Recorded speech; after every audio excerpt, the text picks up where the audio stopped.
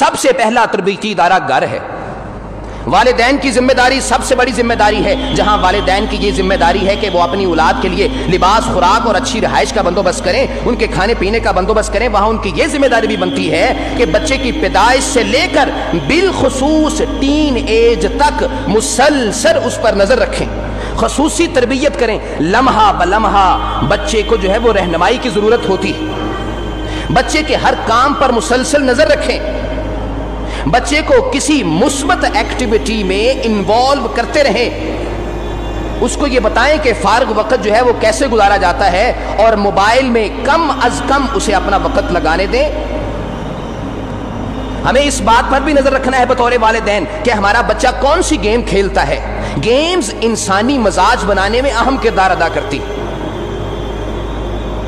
बच्चे को यह भी बताएँ कि सोशल मीडिया का इस्तेमाल किस तरह होता है, उसके अंदर किस किस तरह की चीज़ें होती हैं। और जब बच्चा सोशल मीडिया का इस्तेमाल करे तो उसकी हिस्ट्री भी गाहे गाहे चेक करते रहें कि हमारा बच्चा क्या देखता है। हमारे बच्चे के दोस्त कौन कौन से हैं, किस तरह के दोस्त हैं, किस कैटेगरी के दोस्त हैं, अच्छे दोस्त हैं, बुरे दोस्त हैं, इस पर भी जो है वो मुसलसल नज़र रखें। क्योंकि आप सल्लल्लाहु अलैहि वसल्लम की हदीस मुबारक है कि बंदा अपने दोस्त के दीन पर होता है। और एक दूसरी हदीस में आपने फरमाया कि जिस तरह का दोस्त होगा, उसी तरह की ही खुशबू आएगी। आपने इस तरह की मिसाल दी कि अगर आप किसी खुशबू वाले के पास बैठे हुए होंगे तो वो या तो आप उस खुशबू को खरीद लेंगे, या उसकी खुशबू कम अज कम आप तक ज़रूर पहुँच जाएगी।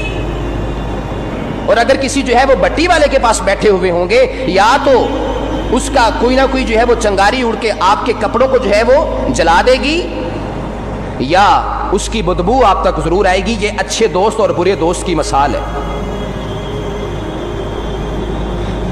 ये सबसे बड़ी ज़िम्मेदारी हम वालदेन की ज़िम्मेदारी है कि अपने बच्चों पर कड़ी नज़र रखें, मुसलसल नज़र रखें। मैं नहीं कहता कि उनको जो है वो हर वक्त कैद किए रखें। उनको, उन पर जो है वो मुसलसल नज़र रखने का मतलब ये है कि जहाँ जहाँ बच्चे जाते हैं, उस चीज़ को देखें। किस चीज़ को जो है वो फॉलो कर रहे हैं? किस तरह के दोस्त हैं? और अगर सोशल मीडिया पर जाते हैं तो सोशल मीडिया पर किस तरह की पोस्ट शेयर करते हैं? हिस्ट्री चेक करते रहें, बच्चों को मुसलसल उन पर नज़र रखें। ये बच्चे की पैदाइश से लेकर टीन एज तक तो खसूसी ज़रूरत होती है कि बच्चे की रहनमाई की जाए। और जब हम बतौर वालदेन इस अपनी अहम ज़िम्मेदारी को पूरा नहीं करते तो फिर वो बच्चा अपने दोस्तों की सोबत से सीखता है। जिस तरह के उसके दोस्त होते हैं, उसी तरह का बनने की वो कोशिश करता है। वो अपने इर्द गिर्द माहौल में देखता है कि स्नैक वीडियोस बनाए जाएँ टिकटॉक वीडियोस बनाई जाएँ। आपका आजकल का सबसे अहम काम ही यही है। तो वो फिर अपने दोस्तों को देखा देखी वो भी उस तरफ़ रागिब होता है और वही काम करना शुरू कर देता है। हमारे वालदेन की, हम की, हम सब की, बतौर वालदेन हमारी सबसे बड़ी ज़िम्मेदारी है कि अपने बच्चों की मुसलसल रहनुमाई करते रहें और उनकी तरबियत करें। दूसरा तरबियत का इदारा कौन सा है? तालीमी इदारे हैं। इस का किरदार आता है। वालदेन के बुनियादी किरदार के बाद उस्ताद की अहम ज़िम्मेदारी बनती है। उस्ताद अपने बच्चों को बताए कि मोबाइल और सोशल मीडिया के इस्तेमाल को कम अज कम करें और अगर करना है तो किस तरह से करना है? कौन सी हदूद कयूद हैं? कौन से उसूल कवानीन है जिनको सामने रखते हुए आपने इस्तेमाल करना है? बच्चों की सेहतमंद गेम्स की तरफ़ रहनमाई करें। बच्चों को सबर तहमल गुस्से पर कंट्रोल की खसूसी मशक करवाएँ। इस्लामी अकदार को अपनाने में बच्चा फख्र महसूस करे। इस तरह बच्चे की तरबियत होनी चाहिए। बच्चों को खसूसी मशक इस तरह से करवाएँ कि बच्चा इस्लामी शायर को अपनाने में फख्र महसूस करे। उस्ताद बच्चे को बताए कि दोस्त कैसे बनाने हैं। वालदेन के साथ किस तरह का ताल्लुक होना चाहिए? बड़े बहन भाइयों के साथ किस तरह का ताल्लुक होना चाहिए? रिश्तेदारों के साथ, हमसायों के साथ हमने किस तरह का ताल्लुक जो है वो रखना है? ये हमने रहनमाई करनी है। हार जीत में उसको बताएँ कि हार और जीत होती है गेम में, लेकिन हार का मतलब ये नहीं है कि बंदा जो है वो डिप्रेशन का शिकार हो जाए। ये सारी रहनमाई, ये तरबीजती इदारा नंबर दो का काम है। वो है तलीमी इदारे। पहला काम हमारे घर का है, हमारे वालदेन की ज़िम्मेदारी। दूसरी ज़िम्मेदारी, तालीमी इदारे हैं। तीसरी ज़िम्मेदारी हमारे मीडिया की। मीडिया भी अहम तरबीती इदारा है। मीडिया क्या करता है कि रेटिंग के चक्कर में इस तरह सनसनी फैलाई जाती है, इस तरह खौफो हरास पैदा किया जाता है कि लोग समझते हैं कि पता नहीं क्या हो गया है, अभी आसमान नीचे गिर जाएगा।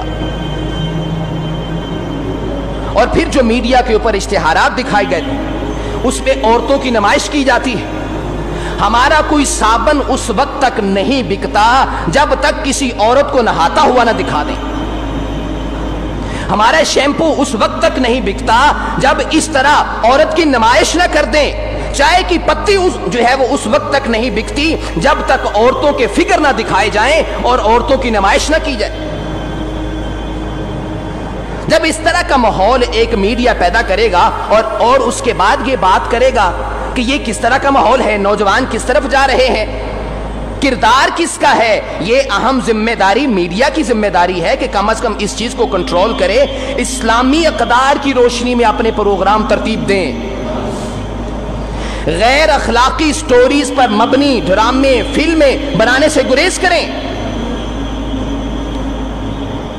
जिनसी ख्वाहिशात को उबारने वाले प्रोग्राम की हौसला शिकनी करें, औरतों की ड्रेसिंग और लिबास पर खसूसी तवज्जो करें, लिबास ऐसा हो कि औरतों के फिगर ज़ाहिर ना हो।